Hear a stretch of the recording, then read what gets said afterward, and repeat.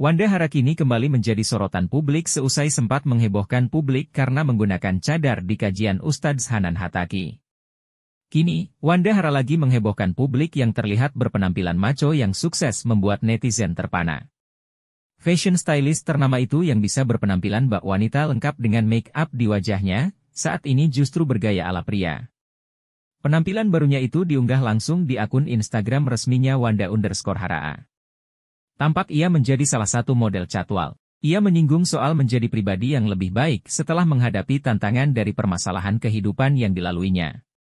Selalu ingat setiap tantangan dan masalah yang kamu hadapi akan membuat kamu menjadi pribadi yang lebih kuat dan baik, tulis keterangan Wanda yang dikutip Poskota pada Jumat, 6 September 2024.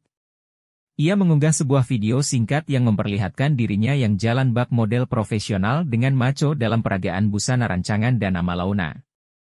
Dalam video tersebut terlihat Wanda yang menggunakan jas dan rompi berwarna coklat berikut dengan celana panjangnya. Tak hanya itu, penampilannya juga didukung dengan topi dan sepatu pantofel berwarna hitam. Hal yang berhasil menarik perhatian publik juga yakni ia memangkas rambutnya hingga menjadi botak plontos sehingga terlihat gayanya yang semakin maco. Mendapati penampilan Wanda Hara yang semakin menunjukkan pria tulen, tak sedikit teman sesama selebritas dan netizen pun ikut memberikan komentarnya.